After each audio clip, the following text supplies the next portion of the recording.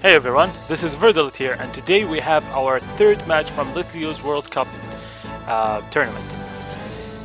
Uh, we won the first match against Venezuela. The second match was against Zimbabwe, and they um, he didn't show up in 48 hours, so he got disqualified, unfortunately for him. And now this match is against Japan, and if you don't know what's the what, what we have to do, we have to play within the colors of the flag. So mine is Saudi Arabia. The pokes have to have either white colors or green colors in them, and he's Japan, so he has to have white colors or uh, red colors. So as you can see, I gotta save Basculin against his team. So and I gotta put the stealth rocks out because he's he has a lot of fire types and the focus probably potential focus sash Crawdaunt. So anyways, if I win this match, I'll go to the semi-semi-final. I don't know if you call it that. Anyways, I lead off with Tetsujin, the Golurk. He leads off with Meowstic. And this is obviously a light screen reflect Meowstic. So I take the opportunity to put the Stealth Rocks up. He goes for Reflect because he has Prankster, he's faster anyways. I go for Stealth Rocks. And this is really important because he doesn't have Defogger or Rapid Spinner. So at this point I decide to stay in because um, I want to stall the Reflect as much as possible. So I just go for Earthquake. He goes into his obviously wanting the sweep. With the Reflect, he can set up a Dragon Dance. So go for Earthquake. This does decent chunk of damage considering that the Reflect is up. He goes for Dragon Dance. And I go for my second Earthquake. I'm not afraid of him using uh, Aqua Jet because I have the red card.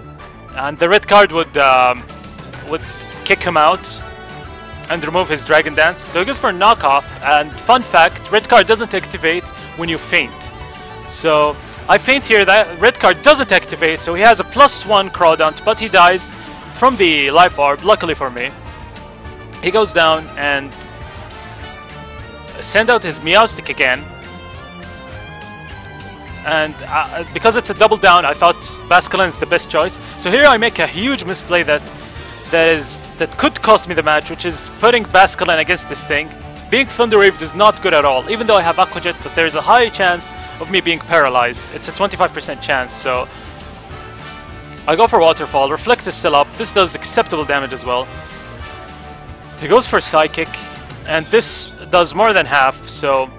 On the next turn I'm forced to switch out. I go for Waterfall again, and this doesn't kill unfortunately, but if he... If he uh, uh, returned his Pokemon to the Pokeball, he's gonna faint because of the Stealth Rocks. So I send out my Tyranitar because I know he's gonna use Psychic, and the Sand Stream will be more than enough to finish him. So he goes for Psychic as predicted, and Sandstorm takes his Meowstic out. And now he sends out his Pangoro. Um, I have Yanmega, which is a perfect counter to Pangoro, unless he has the Rock move. So I switch out because I can double resist fighting moves. Go into my Yanmega, which is which is named the Antera. It goes for Power Up Punch. I managed to take that very, very well. Uh, Stealth Rock removes any, I mean, uh, Stealth Rocks and the Sandstorm removes any potential Focus Sash. And now I'll go for a Bug Buzz.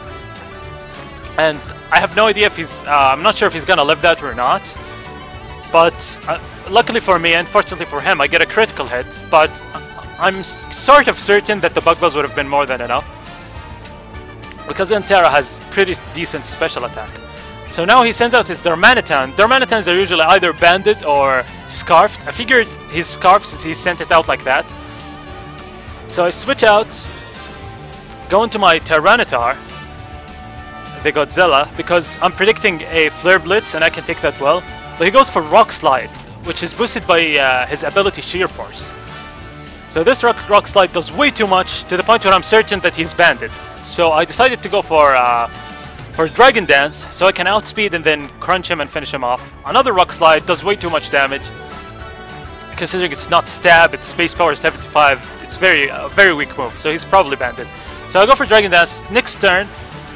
I'll go for Crunch to take him out, because Rock Slide's too risky, but he goes first! which means that uh, he's actually scarfed, so the damage is ridiculously powerful.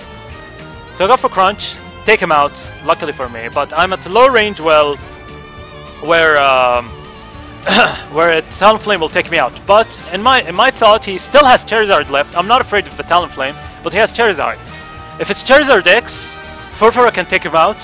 If it's Charizard Y, the Sandstorm from Tyranitar would really cripple him. That This is why I saved my Tyranitar, even though it was at such low health and it's a very slow Pokemon. So I put my Furfrou, take the Brave Bird, it does nothing. Uh, I expect, I, I sort of thought he might roost, and I really don't want him to roost and start dance, so I went, uh, I could have went for return here, it would probably kill, unless he roosts. So I went for, uh, yeah, I used Toxic. He goes for Bl Flare Blitz. You saw the Brave Bird damage, pathetic. But he gets a critical hit. That's very bad for me, uh, because Furfrou is one of, uh, probably my only Pokemon that can stand against Dragon Dancing Charizard X. So on the next turn, I decide to uh, not mess around and instantly go for return. Uh, now I go for, uh, he goes for another Flare Blitz, hoping for the burn. Uh, this does nothing. The critical really uh, made me at such low, low health. So I go for return, take the Talonflame out. The last thing for him is Charizard. If it's Charizard X, I can use Toxic on it and Baby Doll Eyes. If it's Charizard Y, I can uh, send Basculin to Aqua Jet. As you can see, Stealth Rocks is doing a lot of damage, so Golurk from the grave, doing some good job. No, he Mega Evolves, Turns out he he's Y.